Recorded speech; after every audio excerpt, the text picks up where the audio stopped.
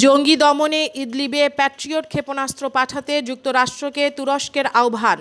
তুর্কি পররাষ্ট্রমন্ত্রী মেভলুত চাভুজলুগু শনিবার জঙ্গি দমনে সিরিয়ার ইদলিবে প্যাট্রিয়ট ক্ষেপণাস্ত্র পাঠাতে যুক্তরাষ্ট্রকে আহ্বান জানিয়েছেন। কাতারের রাজধানী দোহায় মার্কিন পররাষ্ট্রমন্ত্রী মাইক পম্পেওর সঙ্গে শনিবার দেখা করেন চাভুজলুগু। সেখানে তিনি আহ্বান জানান, আফগানিস্তানে শান্তি ফেরাতে সেখানে তালেবানের সঙ্গে চুক্তি করে যুক্তরাষ্ট্র। তুরস্কের ব্যাকআপ হিসেবে অস্ত্রটি পাঠানোর আহ্বান জানানো হয়েছে। চাভুজলুগু বলেন, বাসার সরকারকে অবশ্যই আগ্রাসন বন্ধ করতে হবে। ওই বিশ্বাসঘাতকদের হামলায় আমাদের ছত্রিশ সেনা শহীদ হয়েছেন। আমরা এর সমুচিত জবাব দিয়েছি। এই জবাব আমরা দিতেই থাকব। তিনি বলেন, আমাদের লক্ষ্য হলো ইদলিবে বেসামরিক নাগরিকদের ওপর সহিংসতা থামানো এবং এই অঞ্চলে স্থায়ী অস্ত্রবিরতি নিশ্চিত করা। বাসার সরকার এবং এর সহযোগীদের আগ্রাসন বন্ধ করতে হবে।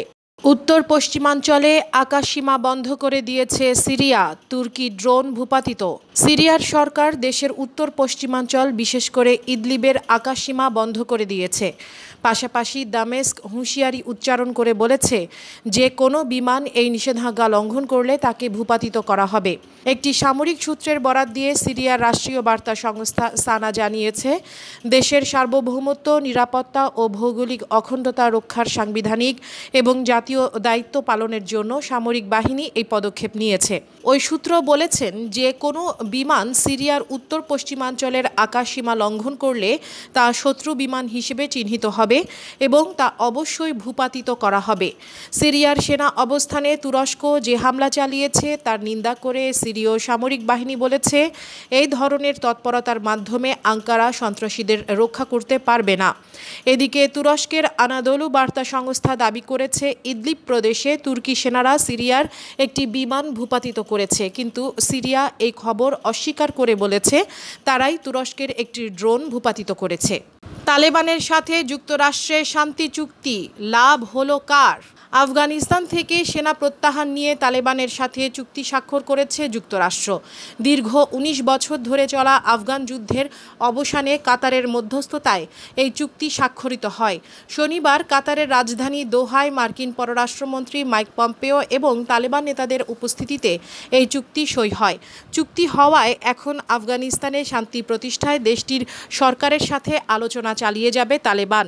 শান্তি চুক্তি অনুযায়ী তালেবান শর্ত মেনে চললে আগামী চোদ্দ মাসের মধ্যে আফগানিস্তান থেকে সব সৈন্য প্রত্যাহার করবে যুক্তরাষ্ট্র ও তার নেটো মিত্ররা।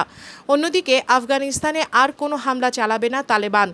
তাদের নিয়ন্ত্রিত এলাকাগুলোতে আল কায়দাকে কোনো তৎপরতা চালাতে না দেওয়ার অঙ্গীকার করেছে তারা। যুক্তরাষ্ট্রের ইতিহাসে সবচেয়ে দীর্ঘমেয়াদী যুদ্ধ বলা হয় আফগান সংঘাতকে।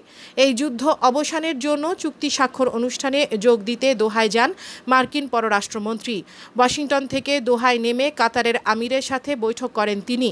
চুক্তি নিয়ে কাবুলে নিযুক্ত মার্কিন দূতাবাস এক টুইট বার্তায় বলেছেন আফগানিস্তানের জন্য স্মরণীয় একটি দিন। এই চুক্তির ফলে আফগানিস্তানে মোতায়েনরত সৈন্যদের ধারাবাহিকভাবে প্রত্যাহার করে নেবে যুক্তরাষ্ট্র।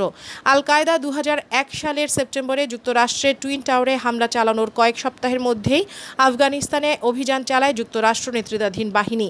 ১৯ বছরের এই যুদ্ধে কত সংখ্যক আফগান বেসামরিক আইনশৃঙ্খলা বাহিনীর সদস্য ও তালেবান সদস্যদের প্রাণ গেছে, তার সঠিক পরিসংখ্যান বের করাটা কঠিন। তবে দু হাজার উনিশ সালের ফেব্রুয়ারি ফেব্রুয়ারিতে জাতিসংঘের এক প্রতিবেদন মতে, এই যুদ্ধে বত্রিশ হাজারেরও বেশি সাধারণ নাগরিক নিহত হয়েছে। আর যুক্তরাষ্ট্রের রোড আইল্যান্ডের ব্রাউন ইউনিভার্সিটির ওয়াটসন ইনস্টিটিউটের তথ্য মতে, আফগান যুদ্ধে নিরাপত্তা বাহিনীর আটান্ন হাজার সদস্য এবং বিরোধী পক্ষের বিয়াল্লিশ হাজার যোদ্ধা নিহত হয়েছে। অপরদিকে আফগানিস্তানে অভিযানের পর থেকে যুক্তরাষ্ট্র নেতৃত্বাধীন আন্তর্জাতিক যৌথ বাহিনীর প্রায় সাড়ে তিন হাজার সৈন্য নিহত হয়েছে।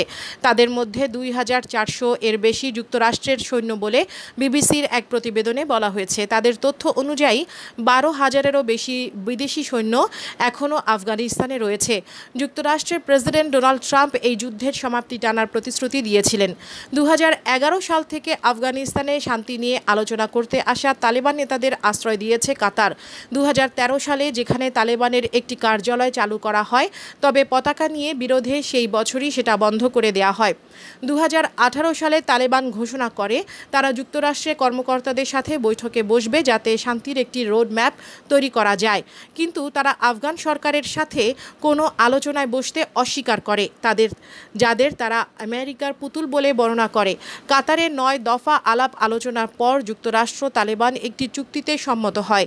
গত বছরের সেপ্টেম্বর মাসে বিশ সপ্তাহের মধ্যে পাঁচ হাজার চারশো সেনা সরিয়ে নেওয়ার ঘোষণা দেন যুক্তরাষ্ট্রের প্রধান আলোচক। কিন্তু কয়েকদিন পরে তালেবানের হামলায় একজন মার্কিন সেনা নিহত হওয়ার পর আলোচনাকে মৃত ঘোষণা দেন মার্কিন প্রেসিডেন্ট। কিন্তু কয়েক সপ্তাহের মধ্যে পর্দার আড়ালে উভয় পক্ষ আবারও আলোচনা শুরু করে।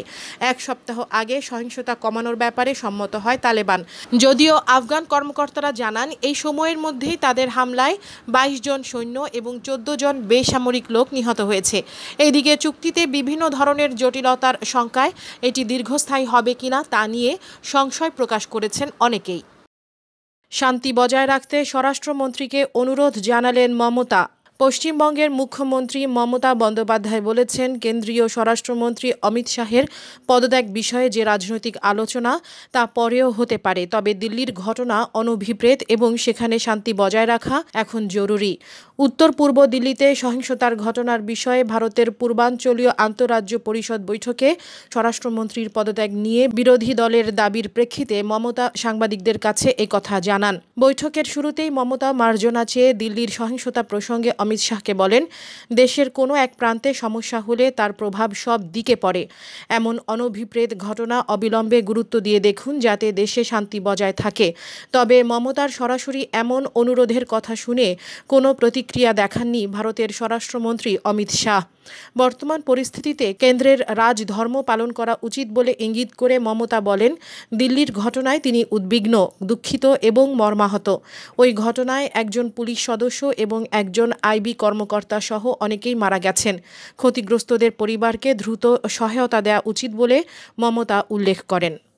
এখনও নিষ্ক্রিয় দিল্লি পুলিশ ফের রাস্তায় সেই বিতর্কিত বিজেপি নেতা। গত রোববার দিল্লির জাফরাবাদে বক্তৃতা দিতে গিয়ে সিএএ, এনআরসি বিরোধীদের হুমকি দিয়েছিলেন কট্টরপন্থী বিতর্কিত বিজেপি নেতা কপিল মিশ্র। অভিযোগ, ওই বক্তব্যের পরেই সেদিন সন্ধ্যা থেকেই সাম্প্রদায়িক দাঙ্গা, সংঘর্ষ ছড়িয়ে পড়ে গোটা উত্তর পূর্ব দিল্লি জুড়ে। যাতে নিহত হন বিয়াল্লিশ জন, কিন্তু তারপরে প্রায় এক সপ্তাহ কেটে গেলেও অভিযুক্ত এই বিতর্কিত বিজেপি নেতা কপিলের বিরুদ্ধে অভিযোগ দায়ের করতে ব্যর্থ দিল্লি পুলিশ। এদিকে দিল্লিতে সংঘর্ষ থামাতে ব্যর্থতার অভিযোগ মাথায় নিয়েই শনিবার দায়িত্ব থেকে অবসর নিয়েছেন দিল্লি পুলিশের কমিশনার অমূল্য পটনায়েক অতিরিক্ত দায়িত্ব হিসেবে ওই পদের কার্যভার গ্রহণ করেছেন বিশেষ কমিশনার এস এন শ্রীবাস্তব। দিল্লিতে সাম্প্রদায়িক দাঙ্গা সংঘর্ষ শুরু হওয়ার পর থেকে কপিল মিশ্রের বিরুদ্ধে ব্যবস্থা নেয়ার দাবি জানিয়ে আসছিল বিরোধী দলগুলো।